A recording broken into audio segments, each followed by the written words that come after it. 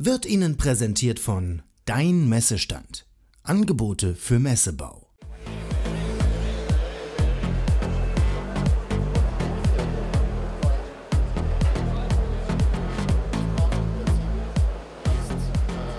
Wir sind hier bei der Firma Morad, die ist zuständig für Bohrtechnik oder spezialisiert auf Bohrtechnik. Ich bin hier zusammen mit dem Michael Eckert. Herr Eckert, welche Highlights präsentieren Sie hier auf der Bauma? Ja, wir präsentieren die neueste Bohrtechnik aus unserer Produktpalette, äh, integriert mit äh, Injektionstechnik, wie man es hier sieht. Eine neue Injektionsanlage für automatische Injektion. Und das funktioniert konkret wie?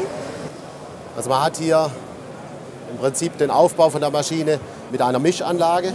Hier wird Zement und Wasser miteinander vermischt. Die Komponente Zement kommt von einem Silo bzw. von Sackware und wird hier eingemischt, gewogen und danach in den Vorratsbehälter abgeführt.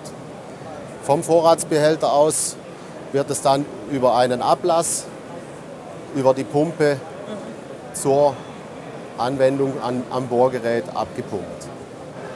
Und wo wird jetzt so eine automatische Injektionsstation eingesetzt?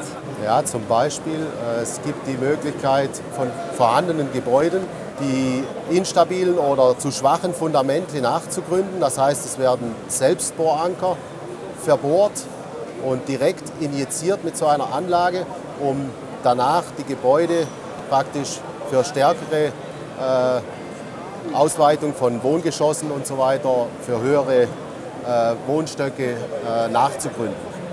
Das heißt, es hilft, Wohnraum zu erhalten und trotzdem oben aufzustocken und eben auch nicht abzureißen, oder? Ja, zu erweitern. Zu ja. erweitern. Mhm. Im Prinzip ohne, dass man die Grundfläche vergrößert, sondern dass man in die Höhe bauen kann. Toll.